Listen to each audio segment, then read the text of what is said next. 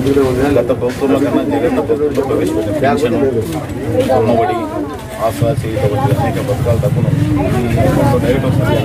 లేకుంటే ఏదన్నంటే వాలంటీర్లు తీసుకొస్తాం పెన్షన్ వాలంటీర్లు తీసుకొస్తాం మిగతా